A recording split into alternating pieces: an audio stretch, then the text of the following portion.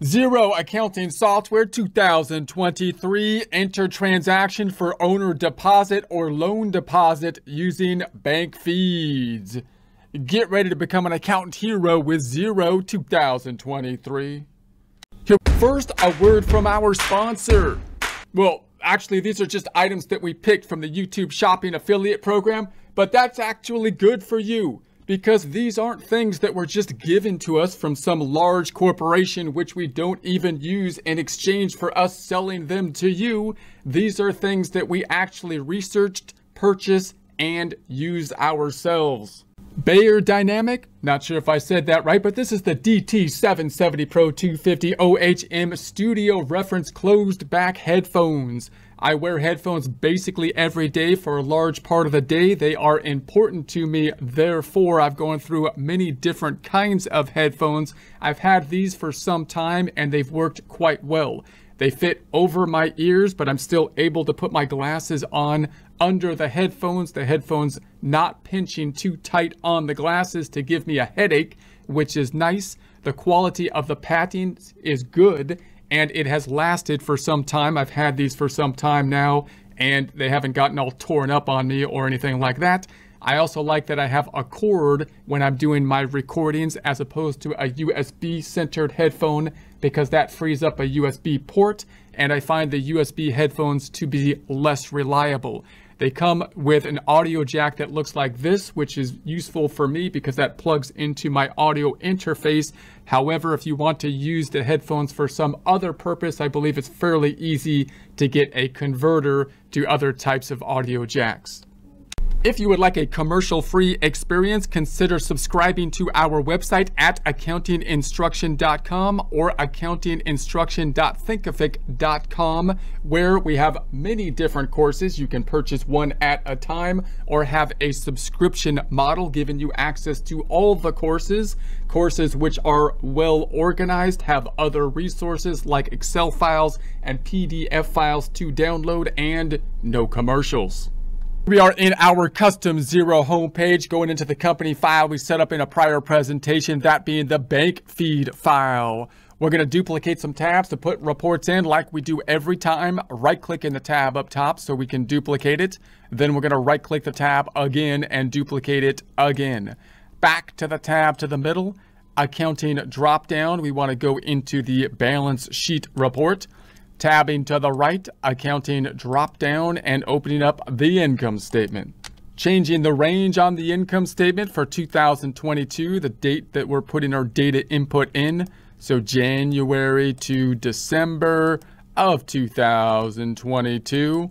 Updating the report.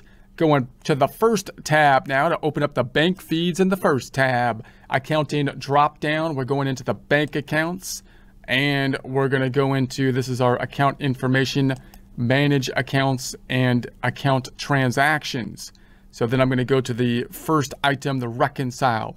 So for the most part what we have been trying to do is basically take the information directly from the bank and construct our books from that bank feed information recording transactions as they come through the bank which we can only do in certain types of, of accounting systems when we're more on a cashed basis and, and aren't forced to do more accrual type of stuff. So now we want to think about those transactions that we need to be careful about when we're looking at the increases in the bank account, the increases being like deposits, which are normally coming from customers, but we want to make sure that we differentiate deposits which may not be coming from customers, the major two being a deposit from, for example, a loan or the owner putting money in uh, into the business. We don't want to record those as revenue. So let me take a quick look at the flow chart over here. This is from QuickBooks Desktop, but we're just looking at it to look at the flow chart because most, you know, the accounting system will be in essence the same. Uh, so we're looking at the sales or revenue side of things. We're trying to make it as automated as possible on the revenue side, which only works for certain industries where we're going to wait till something clears the bank, the deposits that is, and record the deposit with the bank feeds to revenue at that point in time. Now, in our system, we had something like gig work. It would be pretty easy if you're just getting paid by YouTube or you're getting paid by some other, you know, platforms and they're paying directly into your checking account because they are electronic transfers and we would therefore be able to see the data and we wouldn't really be able to mix up where the money is coming from. And we can even assign say a customer at least the platform as the customer. So that works out well. But we can imagine other systems where we try to basically rely on the bank feeds. For example if we are at a cash register or something like that and we're simply collecting cash and we're, we're going to collect the cash and make the sales but we're actually going to not record the revenue until it clears the bank. So we collect the cash or we get paid. We don't record the revenue at the cash register at that point in time, but in, in instead, we wait till we make the deposit and then it clears the bank. And then we simply record everything, all the deposits as revenue when they clear the bank. Now, that's not a full service system because usually when you have a register, you would like to have the register record the sales at the point in time that you're making them so that you can then match the money that you have received to the sales transactions. And then you have that issue of depositing the money into the bank, making sure that you're matching what goes into the checking account on our books so that we can reconcile using the bank feeds as easily as possible. However, if you have if you're trying to just do the easiest thing possible, then you can just basically make sales, deposit uh, the money into the bank in, in whatever format that be, credit cards or or cash or whatever. Wait till it clears the bank and then just record all the transactions that come through the bank as revenue that when they're deposits, right? So the problem with that though is that you don't have the detail of the bank fee transit transfers as we do when we're looking at gig work. It's not going to say it came from this person because we just deposited a lump sum of cash. So that might not be a, an issue because we could just say, yeah, it's just revenue and we're just trying to get an income statement. So, and I don't need to track all the customers that they came from. So we'll just call it revenue, no problem.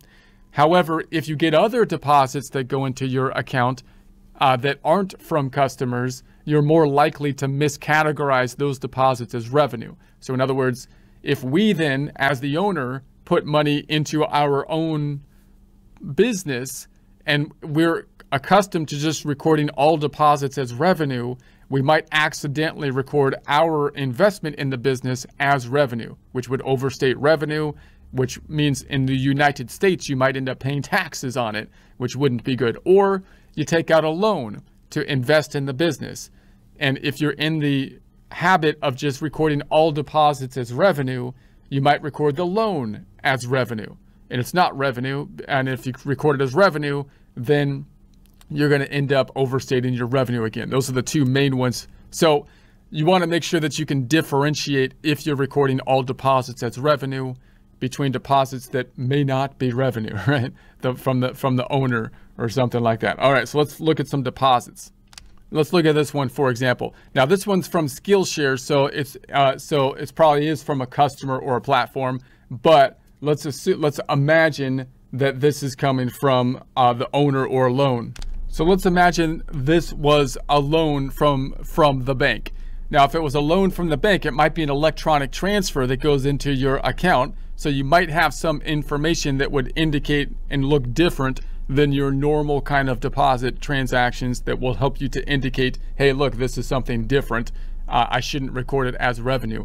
Oftentimes, also, if it were a loan or an owner deposit, you're going to have more regular uh, numbers here. So it might be like you put in $3,000 or something instead of 12,7755, which is something that happens more often if you made a sale and had to deal with sales tax or something uh, like that. So those are some things you can use to make sure that you can differentiate between most of the deposits, which hopefully are from customers, and those that are not, possibly loans or coming from an owner uh, putting money in. So let's add the details here. And let's imagine that this is a loan. Skillshare is loaning. I'm going to make this from, I'm not going to make a rule, so I'll just say from here and then new contact, boom, and no item. And the point is here that we need to have a loan account. So let's see if we have a loan account here. It's not going to income. It's not going to income. That's the point. So we have liabilities, no loan account. So let's call a loan account uh, uh, sales tax historical adjustment rounding. Let's call it uh, 2650. 2650, adding a loan account. 2650. It's going to be, this is not a valid, what what's wrong with, the, what's wrong with that? It's not available. 2660. What do you mean it's not available? I just looked at it. Whatever. This is going to go to uh, a liability account. Uh, liability is going to be a current liability. All right. And then I'm going to call it loan payable. Now, note when you're thinking about loans, the other thing you want to note with loans is that when you take out a loan, if you take out a loan, oftentimes you're going to have a, a, like a long-term loan. You might pay it back in installments, or you might have other kind of loan structures for a business loan. They're not always going to be structured in a similar payment payment structure as an installment loan, like a mortgage, but oftentimes they may. And if they're going to be paid back in something uh, longer than a year's time frame, you've got the concept of breaking out short-term and long-term loans. So note that I would generally go with the idea of recording the loans in one account, usually short term, I'll use current uh, liabilities, and then breaking out the short term and long term portion if necessary for external reporting purposes or for internal decision making periodically at the end of the month or the year. That makes it easier to track your loans and that makes it easier to automate uh, your system. Uh, the other thing to keep in mind is that if you have multiple loans, then you might want to label the loan not just loan payable, but the name of the of the of the bank, like Skillshare is the bank or whatever, uh, for the institution, and then you can group the multiple loans using Xero's great grouping tool on your financial statements to be able to show them as just one lump sum or you can break them out. So for internal reporting purposes, I would like another loan payable for each loan so I can tie out my amortization table to the loan. Whereas uh, if it were external reporting, I would like to be able to group them together so I can just say this is the loan loan payable, just one number. Okay, so let's do that. We're gonna say save it. And I'm not gonna make a rule for it because we're just practicing the idea that we were picking this one up and resisted the urge to put it in there as revenue from a customer, but rather put it on the books as a loan. So let's go ahead and save it. And then uh, we can reconcile it. I'll do it up here, reconcile.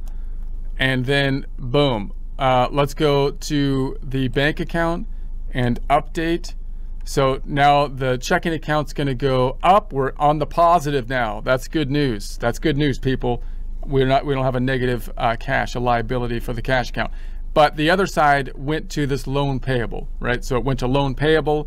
Now again, if we didn't record it as loan payable and we got in the habit of just recording it as revenue, it would have been on the income statement and and just just dumped into one of our revenue accounts.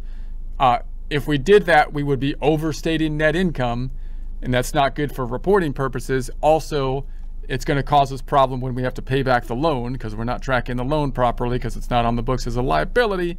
And uh, you you're going to have uh, if you're doing taxes in the United States, you're going to be paying taxes on a loan, which isn't good, right? Because your income is higher. Also, note when you're taking a look at your loans over here, uh, as we think about the payments that are going to happen through the bank feeds for the loans, we're going to have an issue of breaking out the interest portion and the principal portion of those payments. A couple ways we can deal with that. We could make an amortization table. If they provide us an amortization, you know, table, great. If not, we can build one either using online tools or Excel. And and then we can every time we make a payment, if it's on a monthly installment loan, then we're going to have to break out the interest and principal. Now, the problem with that when you're trying to automate the information recording transactions as they clear the bank, so let's say you're just making the loan payments monthly, doing an automated transaction to do that, meaning you're doing an on like an online electronic transfer, and then when it clears the bank, you just want to record it properly at that time. Well, you can't make a standard rule for it. Why? Because there's three accounts affected. That shouldn't be the big issue. The big issue is that two of them will change every time you make a payment. In other words, the dollar amount will be the same, but the amount that's broken out between loan reduction and interest will differ. So that messes us up when we're trying to automate everything with the bank feeds. So one way you can kind of deal with that is this adjusting entry kind of concept. You can say, hey, look, I'm going to do everything on a cash basis. And then at the end of the year, either I or my tax professional will shore up any differences and make it proper for external reporting purposes and tax purposes if necessary. So you're going to work with yourself or the accountant and say, hey, look, I'm just going to record all the payments as a decrease to the loan account, not breaking out the interest because I don't want to have to break it out every time because it's going to take more work to do that. Instead, I'm just going to record the whole amount as a reduction to the loan so I can do everything with the bank feeds and automate it. And at the end of the year, I would like you, accountant, or me myself at one time to take the amortization table and make an adjustment as of the end of the year, which will properly record the loan amount, properly record the interest according to the amortization table, and uh, properly record the short-term and long-term portion of the loan if we need that for external reporting purposes.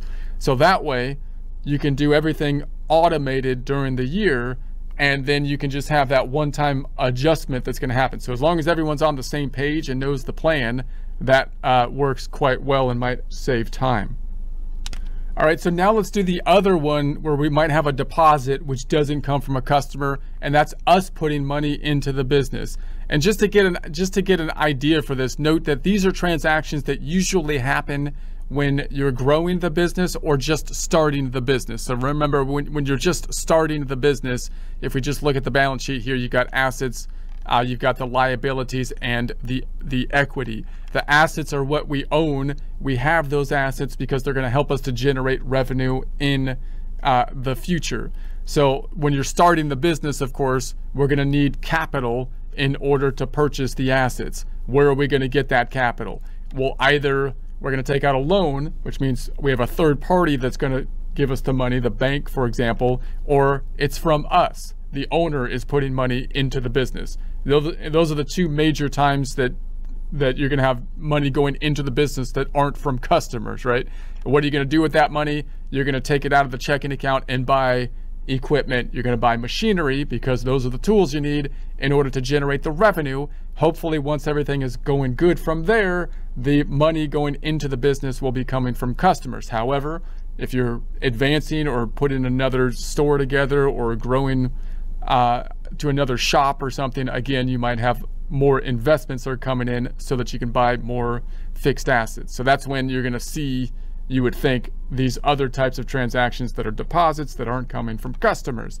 So, of course, the other way that you can finance the business to grow or start up is you, the owner, putting money in. If it was a sole proprietorship, then it would be obviously the owner. If it was a partnership, it would be the partnerships that are putting money in. And if it was a corporation, then that's when they sell the stock. They issue the stock from the corporation. Most people buy stock on the secondary market, buying from other people. That's not going that's not money going to the business, but when the business issues the stock, that's kind of the same thing as the as a sole proprietor putting money into the business, right? They're getting capital to buy stuff. So if you look at the equity section here, notice that we have retained earnings which represents the money that has been accumulating that from the income statement that's flowing into the equity section. So that's revenue that has been generated that we have not given to the owners in draws or dividends. We've got the draws. This is the money that we took out in order to give to the owner. So that's what we hope to be happening most of the time going forward. The, the company generates revenue, we've got cash, and we use some of that cash to reinvest in the business and we take some of it out for the owner in the form of draws. If it was a corporation, they would be dividends. And then you might periodically have money going into the business, investments into the business from the owner. So hopefully we don't see that as often. So a lot of times some businesses don't break out the investments in the same way as they do with draws uh, because they, they just put it to retained earnings or the capital account or sometimes they net out draws. But we'll make another account here, which will be the owner investment account. And this will be the owner putting money into the business, which again, we hope only happens when you first start out the business and when you want to really expand uh, the business, right? That's when that's going to happen. And same thing with the draws in that the investments should kind of close out classically. If you take an accounting courses, they close out temporary accounts, closed out to retained earnings. Uh, but Xero doesn't automatically do that. If you want to close them out, you have to do that uh, with an actual journal entry. If you don't close them out, not a big deal, but you'll just have the uh, investments that have been in there for the lifetime of the business, right? All right, so let's go back to the first tab. Let's first take a look at our chart of accounts, accounting drop down, and let's take a look at our chart of the accounts and see if we have an investment account down here just to note where it would be. So here's retained earnings uh, and draws. Let's add an investment account. Let's just call it uh, 3750, let's say. I'm going to add an account and call it did I add a bank account again? I don't want a bank account, just a normal one. Now I forgot the number, 3750, I think. And so I'm gonna hit the drop down and this is gonna be an equity type of account and I'm gonna call it owner, owner in investment. Now, if this was a uh, corporation, this would be the capital stock issuance. The issuance of the capital stock is what they do to get investments from owners, which are the stockholders. If it was a partnership, you would have to track the partnership investments from the multiple partners so that you can track the correct partnership balances. So partnerships, again, are often actually more complex than even corporations because of that unevenness of the breakout of the equity section, which was the genius of the invention of the corporation in part, at least. All right, let's go to the account drop down. We're going to go into the bank accounts and manage account, account transactions, and let's find another deposit and imagine that it's coming from the owner. So we're just going to take this other uh, Skillshare one here and imagine that it's coming from the owner. So in order to dif differentiate from other deposits, uh, if, if we did an electronic transfer, we might have some bank feed information to tell us like where it came from. But if we just deposited like cash or something, we might not have a whole lot other information. But we would have the dollar amount, which usually would be an even amount. It'd be like $3,000, $10,000 or whatever. It wouldn't be $1,206.79 generally. So usually when you see a rounded number, uh, and all your other deposits are not rounded because of sales tax or something, then uh, that would be an indication that the deposit's not from a customer, for example. So I'm going to add the deposit, and we're going to imagine this came from the owner. So I'm just going to put owner, owner. We already have one. And then I'm going to say the account down here is going to go into our owner investment account, the owner investment account. And there it is. So there we have it. So we're not recording it as revenue, owner investment. Let's save the transaction, if I may, and then reconcile. You better recognize and reconcile. You, you see that green box, you better recognize it and reconcile. So anyways, the cash account's going up. We're in the we're in the green. And then the other side didn't go to revenue but it went down here to the owner investment. So if we look at our equity section, the section most confusing to most people, we've got the current earnings, which is really part of the retained earnings, the current earnings representing what's on the income statement. Nothing has changed on the income statement from this transaction yet. Currently at the 694954, that's what's over here and it's going to roll in to retained earnings. Retained earnings represents the earnings that we have had prior to the current year that have rolled in to the retained earnings, which have not yet been distributed to the owners in the form of our case draws, or if it was a corporation, dividends. Now, the retained earnings might more properly be called in a sole proprietorship, just owner's equity, right? The owner's equity.